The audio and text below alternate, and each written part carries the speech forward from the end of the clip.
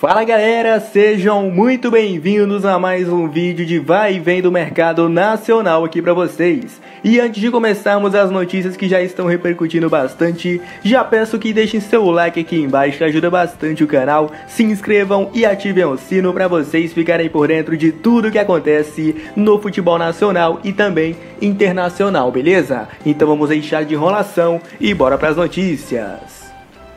Bom, galera, vamos começar o vídeo falando do Vasco, que anunciou oficialmente dois reforços para a sequência da temporada.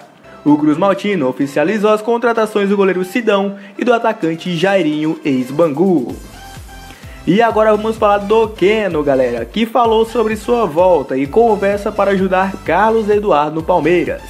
Exatamente, galera, o atacante promete pensar sobre o retorno ao Brasil ao falar com seu empresário na metade do ano e revela papo com seu ex-companheiro no Egito e hoje no Verdão. Não faz um ano que Keno foi negociado pelo Palmeiras, mas a torcida pede a sua volta. O atacante, destaque do Pirâmides do Egito, disse que conversará sobre o possível retorno ao Brasil somente no meio do ano, falando com seu empresário, e tem mantido mais contato com o Carlos Eduardo, ex-companheiro que atualmente está no Verdão. Sempre que posso, falo com o Carlos Eduardo, é um menino super de bem e um ótimo jogador, eu falo para ele ficar tranquilo e fazer o trabalho dele de forma natural. Tenho certeza absoluta de que irá ajudar demais o Palmeiras na temporada, afirmou Keno ao Estadão. E bom, galera, agora vamos falar do Flamengo. Esta notícia já está repercutindo muito nos veículos midiáticos. O Flamengo tem interesse na contratação de Jorge Sampaoli, afirma jornalista. Exatamente, galera. Em meio ao clima de tensão sobre a diretoria do Flamengo, com cobranças sobre o desempenho do técnico Abel Braga, a torcida rubro-negra pede a saída do treinador. Nas redes sociais, o assunto é mais comentado pelos torcedores, que não estão satisfeitos com os resultados do time e com as escolhas de Abel Braga.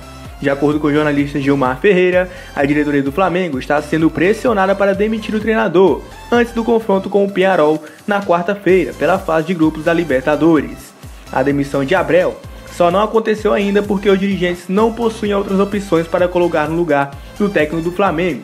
Dois nomes são contados para a vaga: Renato Gaúcho, que já recebeu uma proposta do Flamengo no início do ano, entretanto, não aceitou e continuou no Grêmio, e Jorge Sampaoli, técnico argentino que atualmente está no Santos, é o segundo nome para assumir o cargo, segundo informações da reportagem do veículo Extra por Gilmar Ferreira. O Flamengo emitiu uma nota oficial nesta sexta-feira em seu site, enaltecendo as conquistas da Florida Cup e do Campeonato Carioca, acusou certos veículos de comunicação de estarem criando crises infundadas e atacando o clube com mentiras, tentando afastar o clima de tensão. O clube disse que Unido vai passar por cima deles, finalizando o comunicado.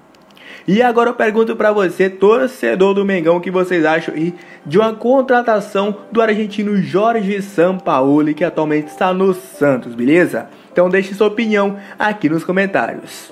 Portanto, galera, as notícias que mais repercutiram no mercado da bola foram essas para você que quer ficar por dentro de mais notícias, é muito simples, basta você deixar o seu like e se inscrever aqui no canal, caso não for inscrito, beleza? Então vou ficando por aqui e até a próxima. Valeu, falou e fui!